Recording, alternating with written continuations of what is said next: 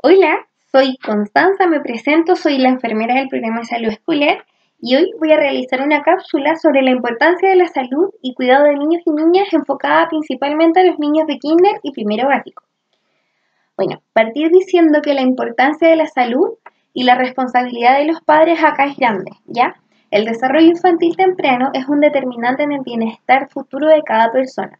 ¿Esto por qué? Porque los primeros años de vida son muy importantes para el desarrollo y expresan todas las potencialidades de cada uno. ¿Ya? En este periodo existen unas ventanas que son únicas para poder potenciar todas las habilidades, tanto emocionales, motoras, sensoriales, de lenguaje, entre otras.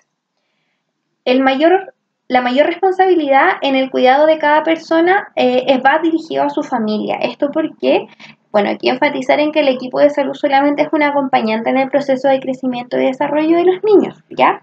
Su rol es la escucha, eh, la intervención oportuna, pero el plan de indicaciones siempre va consensuado con la familia y acorde al contexto que tienen los niños.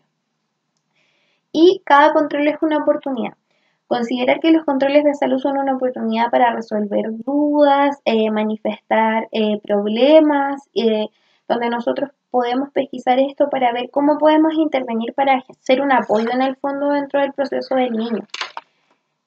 Vamos a hablar del control sano. ¿Qué es el control sano? El control sano es una actividad dirigida a promover la salud del niño y niña, para detectar precoz y oportunamente cualquier anomalía que pudiera presentarse. Acorde a la edad de los niños en kinder y primero les corresponderían dos controles, eh, bueno, controles con enfermera a los 5 años y a los 6 años también con enfermera. Ambos van con eh, un control odontológico. ¿Cuál es la diferencia en el control de los 6?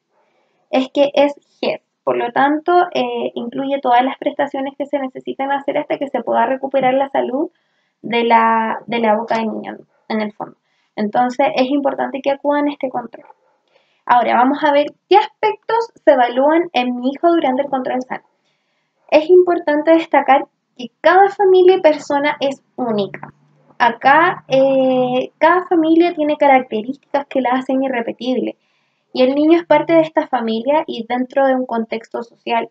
Por lo tanto, acá todo influye. Por ejemplo, familia donde tenemos presentes solamente a los abuelitos, familia donde tenemos presente o el papá o la mamá, todo esto influye en el contexto y en las circunstancias del niño. También el nivel socioeconómico, las redes de apoyo, las condiciones medioambientales en las que vivan, si los papás trabajan o no, las condiciones del, colegio, donde van el jardín, etc. ¿Qué más examinamos? El examen físico.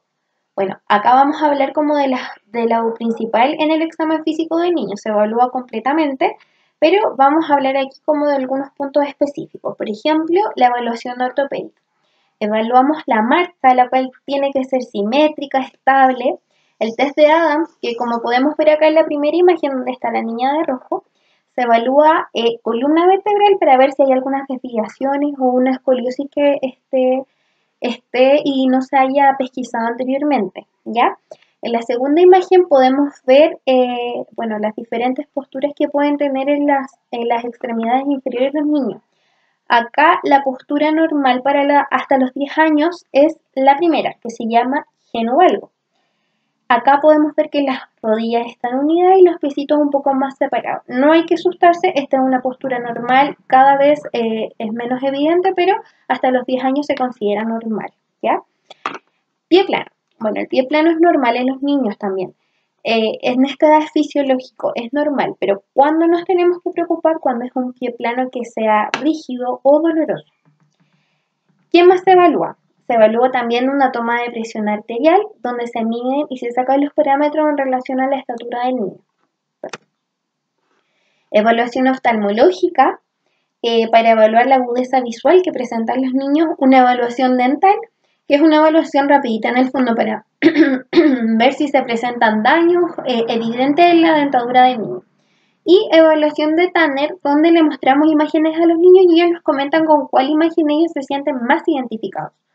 Eh, como no se dan las condiciones para poder evaluar la, la zona genital, se le muestran imágenes y ellos comentan cuál es la que se sienten más eh, parecida a ellos. ¿Qué más evaluamos? Antropometría. Acá consideramos el peso, la talla y la circunferencia de cintura. Esto para ver el crecimiento que ha tenido el niño y si está adecuado en relación a su talla y a su edad, ¿ya? Eh, bueno, mencionar que antes teníamos una población con tendencia a la desnutrición, ahora estamos cargados totalmente hacia el otro lado. Los niños están siendo obesos. Esto trae consigo muchos riesgos y problemas. Así que puso una pequeña reflexión que dice que los niños obesos y con sobrepeso tienden a seguir siendo obesos en la edad adulta y tienen más probabilidades de padecer a edades más tempranas enfermedades no transmisibles como la diabetes y las enfermedades cardiovasculares. Como les decía, hay que considerarlo y evaluar cómo, por ejemplo, cómo podemos ayudar a los niños que se encuentren con obesidad mediante la alimentación. Bueno, nosotros vamos a tener unas cápsulas dirigidas exclusivamente por nutricionistas abordando la alimentación, pero a mí me interesa mencionar unos aspectos generales como por ejemplo el que tengan cuatro comidas al día, desayuno, almuerzo, once y cena.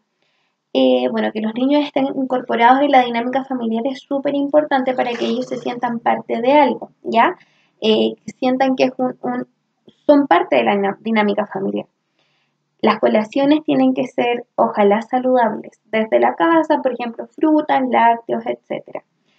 Que se les acostumbre a los niños a tomar agua potable.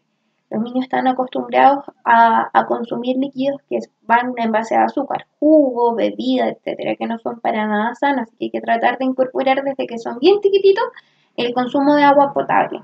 Y los alimentos que ya conocemos que no son sanos, como por ejemplo los dulces, las papitas, etcétera, todo lo que sea azúcar procesada, tratar de mantenerla como para ocasiones y no incorporadas dentro de la dieta del niño. Actividad física. Bueno, al menos durante el día el niño debiera tener 60 minutos diarios de actividad física. Hay que tratar de fomentar que ellos participen en actividades grupales que sean de su interés para que ellos puedan moverse. Eh, y como dice acá la imagen, se recomienda que caminen a la escuela si la tienen cerca, que pasen a las mascotas, que se incorpore el baile, que cooperen con las compras, que ayuden a llevar las cosas, paseos en bici, saltar la soga. Obviamente entendemos que en el contexto que nos encontramos actualmente es difícil hacer estas actividades al aire libre, pero sí hay que tratar de que los niños dentro del hogar se mantengan activos. Higiene corporal. Bueno, acá es importante mencionar que el baño debe ser diario, ¿ya?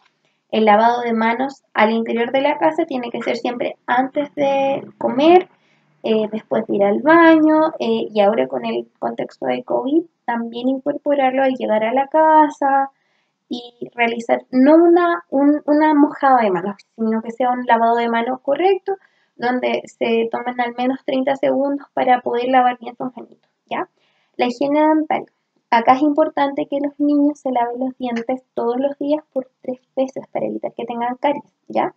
Esto debe ser supervisado y ayudado por un adulto, al menos hasta que ellos sepan escribir, porque ahí es cuando ellos ya tienen una motricidad fina más desarrollada que les permite hacer el aseo dental solito. Y eh, bueno, la limpieza, ir al baño, importante destacar que la limpieza debe ser siempre desde adelante hacia atrás, eh, para que no se genere contaminación y podamos tener infecciones urinarias, evitar este tipo de complicaciones principalmente en las niñas, ¿ya? Y mencionar también que es importante que a los 6 años, como decía antes, le corresponde el GES dental que tiene garantizada todas las prestaciones que él necesite para que pueda ser eh, dado de alta hasta que se recupere la salud oral. Exposición a pantalla.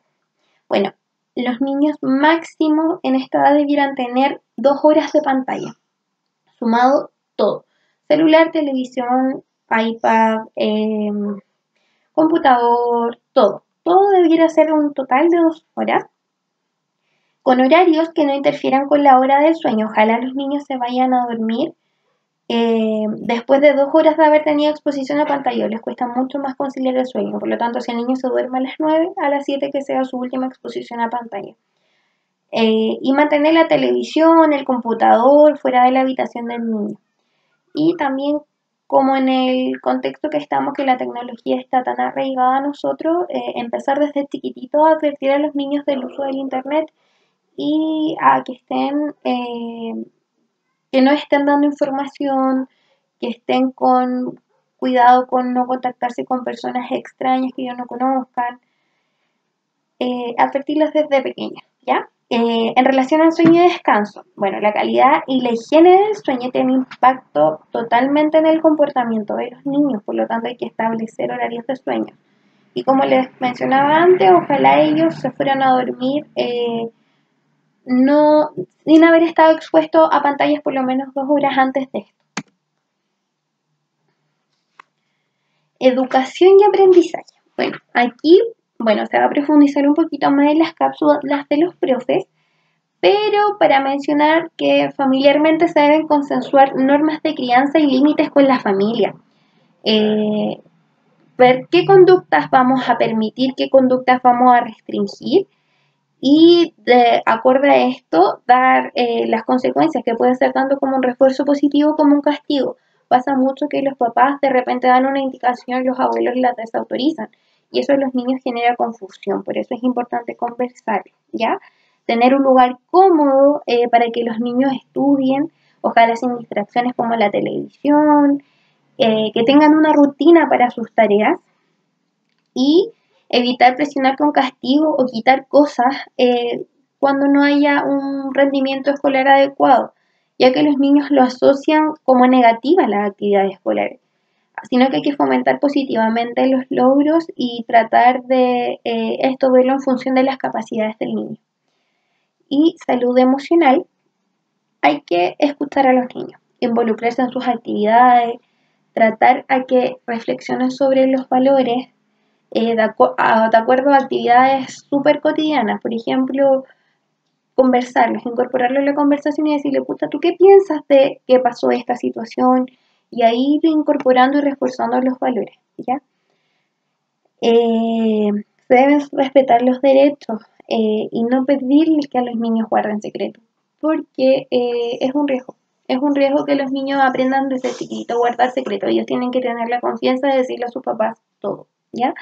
Y como una pequeña reflexión, cuidar la salud emocional de los más pequeños es la garantía para que sean unos adultos maduros y felices.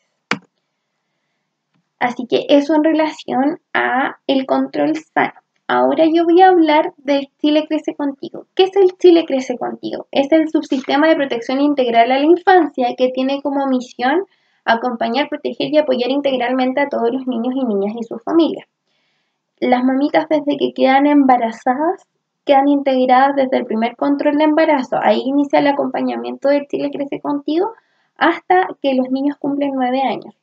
Igual de todas maneras dejé la página ahí por si alguno tiene eh, alguna duda, eh, tiene curiosidad por conocer un poquito más del Chile Crece Contigo. Hay hartas cápsulas informativas, es una, una página bastante didáctica, así que los invito a conocerla. Dejé el enlace acá en el, en el PowerPoint para que puedan acceder si es que alguno quisiera.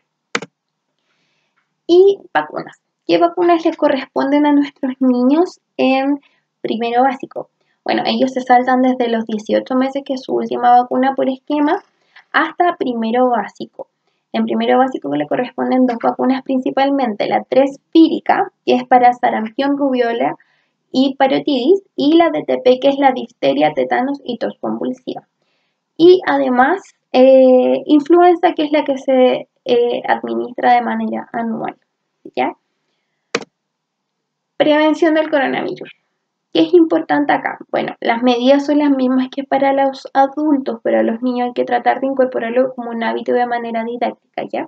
Enseñarles que tienen que cubrir la boca al toser, estornudar, que estar con mascarilla en los entornos externos siempre y cuando los niños sean conscientes. No es recomendable usar mascarillas cuando son muy pequeñitos por el riesgo de asfixia, ¿ya? Eh, que mantengan la distancia con los demás, que no llevarlos a lugares muy concurridos y enseñarles a lavarse sus manitos siempre al volver al hogar, lavarse bien las manitos, la carita y con agua y ¿ya? Y que por lo menos este lavado de manos dure al menos 30-40 segundos. Así que, bueno, a protegerse nomás, estas son las medidas generales, pero eh, me pareció importante mencionarlo. Espero que le haya gustado la cápsula de hoy día y que haya sido eh, de su agrado y que le hayan entregado conocimientos sobre lo que es el control sano y la importancia del cuidar la salud de nuestro niño. Así que me despido y hasta pronto.